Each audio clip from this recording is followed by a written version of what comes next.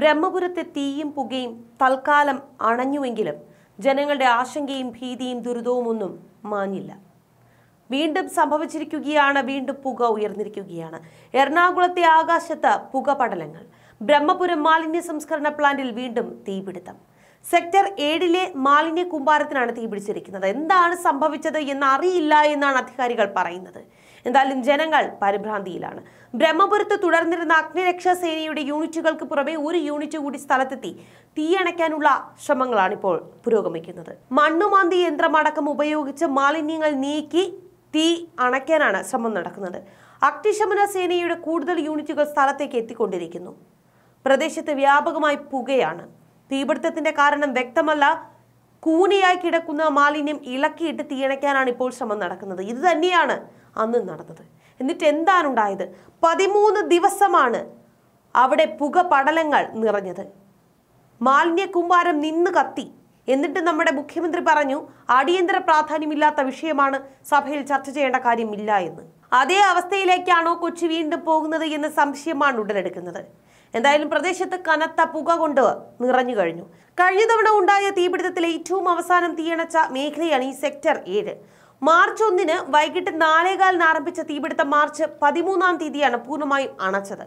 എന്തായാലും അന്ന് തീ പൂർണമായും അണഞ്ഞിരുന്നോ എന്ന് പോലും ഇപ്പോൾ ചിലർ സംശയിക്കുന്നു. കൊച്ചിയെയും സമീപ പ്രദേശങ്ങളെയും മൂടിയ പുകയും മലിനീകരണവും കാരണം ജനങ്ങൾക്ക് ആരോഗ്യ പ്രശ്നങ്ങൾ ഉണ്ടായി ഇതിനിടയിൽ ഒരു വ്യക്തി മരിച്ചു.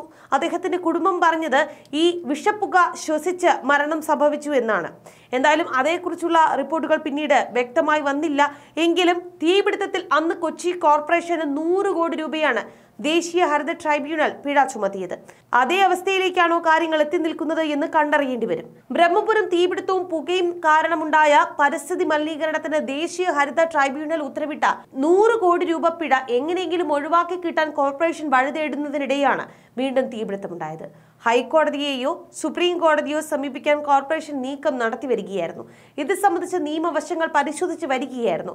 കോർപ്പറേഷന്റെ വാദം കേൾക്കാതെ ഏകപക്ഷീയമായ വിധിയാണ് എന്നതും നഷ്ടം കണക്കാക്കാതെയാണ് പിഴ വിധിച്ചത് എന്നൊക്കെ ചൂണ്ടിക്കാട്ടിയാണ് ഇവർ കോടതിയെ സമീപിക്കാനിരുന്നത്. ബ്രഹ്മപുരം ആവർത്തിക്കാതിരിക്കാൻ മാലിന്യ സംസ്കരണത്തിൽ കോർപ്പറേഷൻ കർമ്മ പദ്ധതി തന്നെ തയ്യാറാക്കി. ഉറവിട മാലിന്യ സംസ്കരണം ഊർജിതമാക്കാൻ നടപടി തുടങ്ങി. എന്നിട്ട് എന്തുണ്ടായി? ദിവസങ്ങൾക്കുള്ളിൽ തന്നെ വീണ്ടും പുകപടലങ്ങൾ ഉയർന്നു. ഉറവിട മാലിന്യ സംസ്കരണത്തിന് സൗകര്യമില്ലാത്തവരിൽ നിന്ന് മാലിന്യം തരംതിരിച്ച് കോർപ്പറേഷൻ തൊഴിലാളികൾ വീടുകളിലെത്തി ശേഖരിക്കും. ബ്രഹ്മപുരത്തേക്ക് കൊണ്ടുപോകുന്ന മാലിന്യത്തിന്റെ അളവ് പരമാവധി കുറയ്ക്കും. സ്ഥലത്തുള്ളവർക്ക് വീട്ടുവളപ്പിലും അല്ലാത്തവർക്ക് വീട്ടുവളപ്പിന് പുറത്ത് വീപ്പ സ്ഥാപിച്ച് ഉറവിട മാലിന്യ സംസ്കരണം നടത്താനും സൗകര്യമൊരുക്കും. അങ്ങനെ ഒരുപാട് വീമ്പ് പറച്ചിലായിരുന്നു. എന്തായാലും സംസ്ഥാന ചീഫ് സെക്രട്ടറിക്ക് മുൻപാകെ പിഴയടക്കണമെന്ന സാഹചര്യം ഇപ്പോഴും നിലവിലുണ്ട്.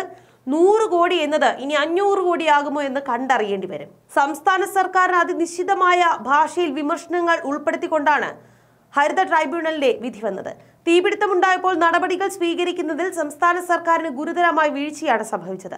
തീപിടുത്തത്തിൽ ഉത്തരവാദികളായ ഉദ്യോഗസ്ഥർക്കെതിരെ ക്രിമിനൽ വകുപ്പ് തല നടപടി വേണമെന്ന് ഉത്തരവിലുണ്ടായിരുന്നു. കൊച്ചിയിലെ മാലിന്യവുമായും ബ്രഹ്മപുരം പ്ലാന്റുമായും ബന്ധപ്പെട്ട് നേരത്തെ തന്നെ ട്രൈബ്യൂണൽ മുന്നറിയിപ്പ് നൽകിയിരുന്നതാണ്. എന്നിട്ടും ഇതൊന്നും പാലിച്ചില്ല എന്ന് മാത്രമല്ല ആ മുന്നറിയിപ്പ് പോലും ഇവർ മുഖവരക്കെടുത്തില്ല വേണ്ടി വന്നാൽ അഞ്ഞൂറ് കോടി രൂപ പിഴ ചുമത്തുമെന്ന മുന്നറിയിപ്പോടുകൂടിയാണ് ദേശീയ ഹരിത ട്രൈബ്യൂണൽ നൂറ് കോടി രൂപ പിഴ ചുമത്തിയത്.